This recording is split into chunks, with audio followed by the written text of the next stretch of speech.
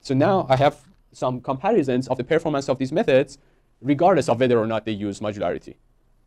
So for this sort of uh, comparison, what we're going to do is to create synthetic data with ground truth. So we create random graphs. There's, there's this type of random graphs called ABCD. Actually, this is also developed in Toronto uh, at, uh, at Ryerson University. Um, so these ABCD graphs are uh, random graphs that have ground truth community built into them. So in the generation of these random graphs, first each node has a community assigned to it, and then the edges are formed based on the communities, such that most of the edges are created between nodes of the same community, right? So we have nodes with labels, essentially, and then we create edges such that most of the edges are between nodes of the same label. So this is where we're kind of moving from unsupervised learning and kind of doing some supervised learning tricks because the clusters are available in this simulated setting. And then when the graph is created, we remove the labels. We give the graph with no labels to any algorithm that is for community detection. We let it find the partition and then measure the similarity between the partition they find and the ground truth partition. If an algorithm can find the ground truth partition where no information is stored about them, then it means that the algorithm is doing a good job. And also we have a measure of noise. So for example, for this ABCD model, they have this parameter of C, which is the amount of noise. So uh, it's called the mixing parameter. It's essentially the amount of noise in the data generation process. You can create 90% uh, of the edges you create between nodes of the same label and only 10% between nodes of different labels so that the topology doesn't show you the clusters immediately, but it would be about separating noise from signal to be able to successfully find the clusters, right? And you can increase this amount of noise to any level. And then an algorithm that has a good performance across different levels of noise would be a suitable algorithm. Um, and then the performance measure would be something like AMI, adjusted mutual information, that we measure based on the partition from an algorithm and the ground truth partition. If an algorithm retrieves the ground truth perfectly, it's, it's great. But that almost never happens. If you have a network with hundreds of nodes, each node has k possibilities because we're not talking about two groups anymore, we're talking about k groups. Each node has k possibilities. Let's say k is 20. You have 20 to the power of 300 nodes. So there are these many solutions. If an algorithm finds the right solution, if it retrieves the ground truth perfectly, it's really remarkable.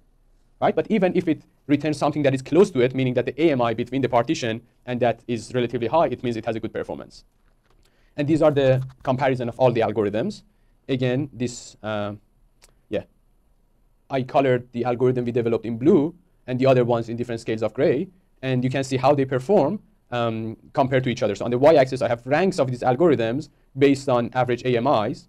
On the x-axis, I have the amount of noise in the data generation process. So there are some algorithms that are excellent as long as we don't have, uh, as long as we don't have noise. Um, I guess we don't see it in here, um, but yeah, for example, this one, LN, is the third best algorithm, but you can see that it becomes worse and worse relatively when we increase the noise. Uh, then, then here actually it becomes better. So for, for the algorithm we developed, it works like this. It's the second best if noise is very small, then it's the best, the best, second best, and then if noise is very large, its performance is not that good. But this is where noise is huge. Noise is 90%. You had a question? So here we're, we're working based on simulated data. So we generate random graphs through a process. The process is called ABCD. It is a, it is a process developed in, at Ryerson University. And um, this, is, this gives you a benchmark graph for comparing community detection algorithms. Because in that benchmark graph, you have ground truth communities. There, there's a partition for that graph. This is the graph. This is what the algorithm sees, right? The graph, the algorithm doesn't, doesn't see the ground truth partition. But there is a ground truth partition that is, let's say, 0 to 1 and 4 and 3 for whatever reason. This is the ground truth. The algorithm doesn't have access to this the algorithm only sees the topology. If it manages to retrieve something like this from the topology, it means it's a good algorithm. Because we generated the graph based on this ground truth. So the uh, 500 random graph. Yeah. Yeah. So for, for 100 of them, I just used 10% noise. Then I had 10. Then I had 100 test case with low amount of noise. Then I created another 100 graphs with 30% noise and I used those as test cases. Then I generated 100 other graphs based on 50% noise. Noise is something that I can, I can change in the, in the graph generation process. All right. Then, of course, there would be a conflict of interest because people would tell me, oh, you know these people at Ryerson University. The test cases you're using is from people from your own city, so maybe you colluded with them. So this is another, another um, benchmark model. Um, this is from Indiana University. And um, again, it allows us to generate random benchmarks with different amounts of noise. Um, and we can, we can compare algorithms based on these test cases. And this is separate from the previous assessment. So we, we do two different assessments so that if an algorithm is doing a good job in both of them, maybe it means that it's a good algorithm. But really, this question of whether an algorithm is good or not is really controversial. You know, I show these results, but not everyone would agree on them. So this is based on LFR benchmarks. Um, so this is what I wanted to show you. Solving this optimization problem, back to Junda's question, solving the optimization problem is not, is not the whole thing. So this Paris algorithm is excellent on LFR graphs as long as noise is very small. But when we introduce noise, Paris algorithm suddenly becomes one of the worst algorithms in terms of performance. When we increase noise from 1% to 10%. Then Paris is here, then here, then here. So I told you to remember names of a couple of algorithms. So combo is, is uh, relatively good, is here.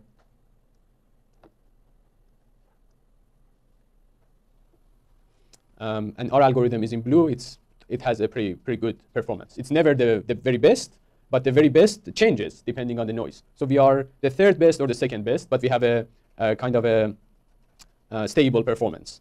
Yes? Ah, this is not AMI. This is rank of algorithms. Very good question. Rank of algorithms in average AMI. So average AMI actually decreases when we increase noise. But, uh, but there's a limit to, to how large AMI can get. So the, the values of AMI for all of these algorithms change like this, uh, change like this. But what I'm plotting in here is the ranking, because there could be one line that is I mean, the plot of AMI would be very difficult to read. Everything will be almost on top of each other. But there could be one algorithm that is almost always this best or second best or third best. And there could be an algorithm that is here, almost always the worst algorithm. Yes? Yeah. Yes, yes. Yeah. So we need to consider variations into account. And for that, actually, I did some statistical tests. So I, I, I, ran some statistical tests that compare the performance of these algorithms, and then why an algorithm is statistically significantly better than, let's say, everything in here. Everything below this line, we are statistically significantly better than it. And then these ones, we are on average better than them. Uh, but the results are not significant. So we cannot claim that we are better than them. Um, but the thing is, these two regions are not where the algorithms exist. Most of these algorithms, some of their performance is in region one, some of them are in region two.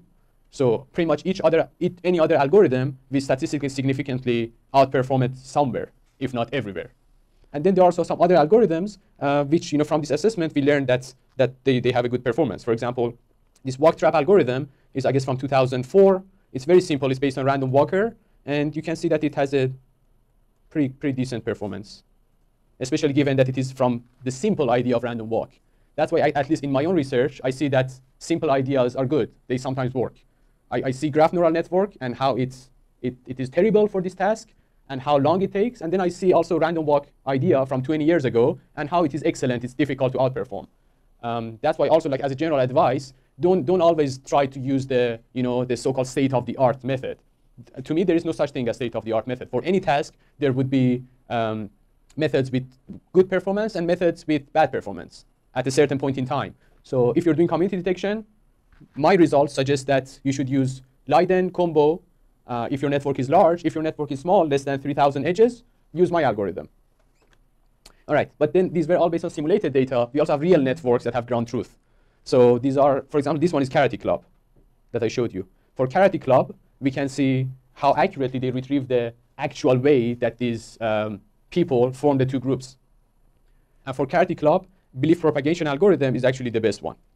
But there's a no free lunch theorem in here. No algorithm can be better than everything else for every real network because how the topology translates to communities depends on whether you're talking about a biological network of genes or you're talking about a social network of university club or you're talking about a network of international relations or you're talking about a network of securities in, in finance. So you can see that again, this algorithm has, these, these are values of AMI. They are among the largest for each of these networks. And there are also some algorithms that uh, just fail all the time. This one is almost always zero.